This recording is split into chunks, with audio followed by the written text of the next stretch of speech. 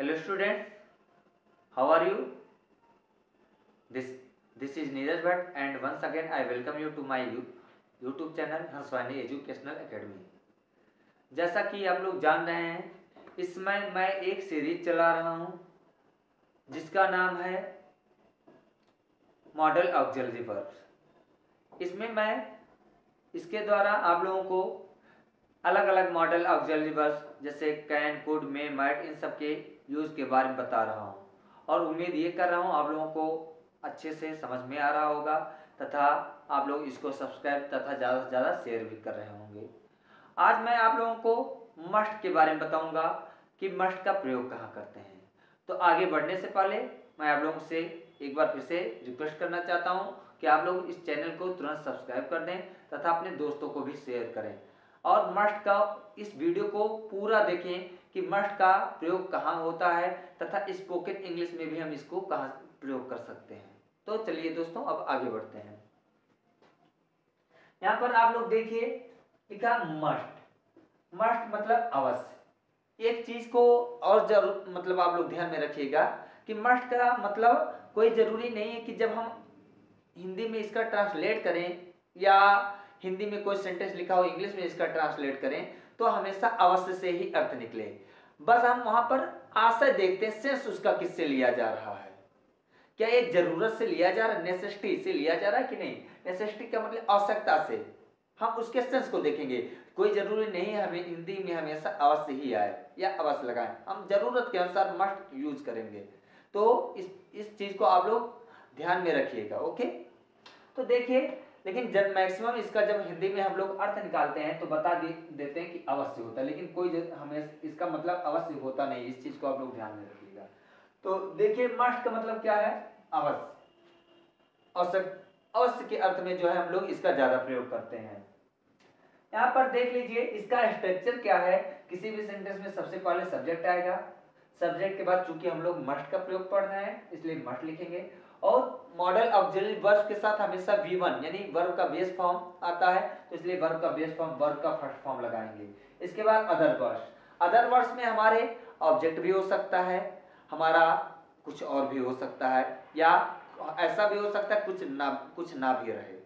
तो other words मैंने इसलिए लिख दिया है ऑब्जेक्ट लिखना चाहिए था। अदर वर्ड्स में हमारा ऑब्जेक्ट भी हो सकता है, और कंप्लीमेंट भी हो सकता है, हो सकता है कुछ भी ना रहे। तो हम ज़रूरत के अनुसार प्रयोग करेंगे। इसलिए इसको आप लोग ध्यान में रखिएगा और इसके बाद फुल स्टॉप रहेगा।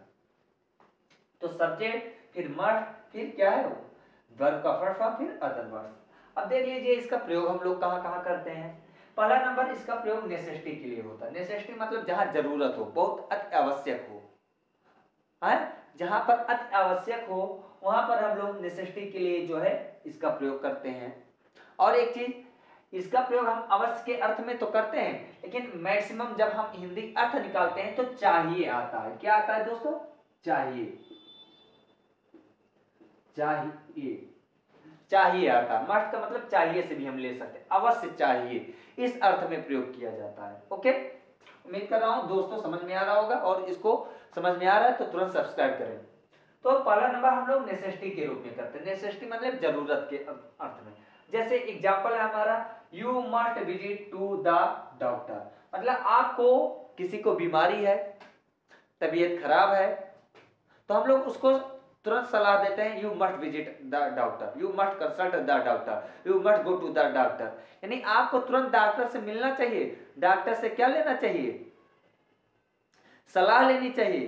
तुरंत डॉक्टर के पास जाना चाहिए। तो अब यहाँ पर देखिए, तुम्हें डॉक्टर के पास जाना चाहिए। अब यहाँ पर हम भले ही अवश्य नहीं लगा रहे हैं, लेकिन यहाँ पर हमारा अर्थ जो निकल रहा है, और नेसेसिटी से निकल रहा है। यू मस्ट विज़िट यानी विज़िट द डॉक्टर मतलब तुम्हें डॉक्टर से अवश्य मिलना चाहिए, या तुम्हें डॉक्टर से मिलना चाहिए। यहाँ आवश्यकता का बोध हो रहा है। इसलिए जो है, क्या है? नेसेसिटी के लिए किया जाता है। इसके बाद है ऑब्लिगेशन ऑब्लिगेशन का मतलब कर्तव्य।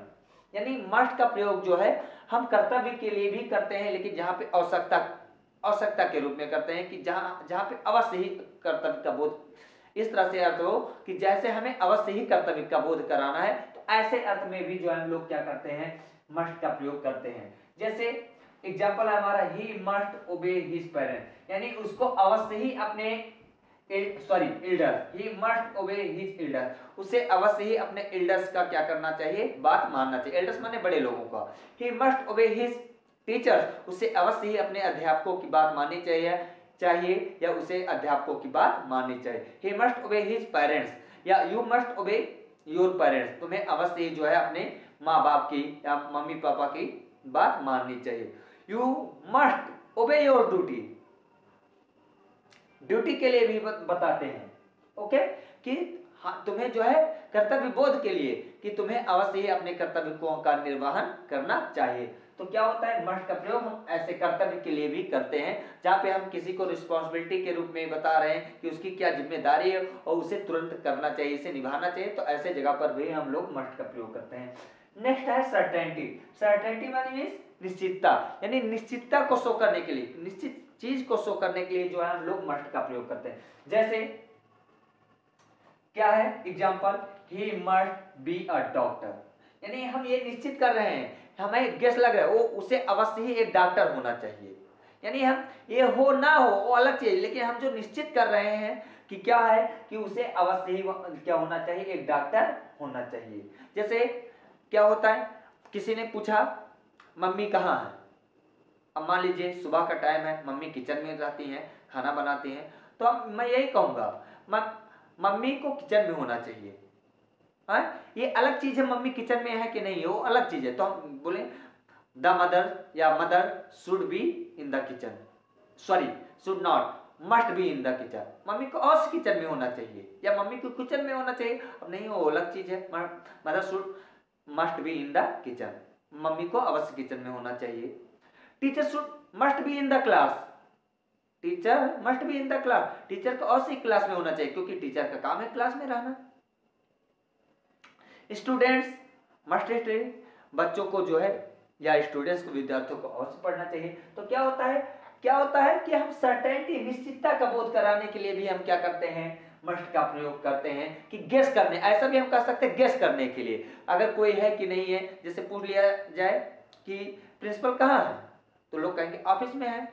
तो the principal must be in the office principal को जो है ऑफ़िस में अवश्य होना चाहिए। अब वो अलग चीज़ है, नहीं है। तो ऐसा हम कह सकते हैं गेस करने के लिए कि जहाँ पर निश्चितता का बोध हो, हमको लगे कि हाँ ये चीज़ निश्चित रूप से होना चाहिए। हम ऐसे जगहों पर भी मस्ट का प्रयोग करते हैं। अगला है, हम मस्ट का प्रयोग निगेटिव सेंस में भी करते हैं। निगेटिव में निगेटिव में मस्ट के बाद नॉट आएगा, तब भी वन आएगा। जैसे one must not visit in the sunshine sunshine माने होता है धूप। विज़िट माने टहलना।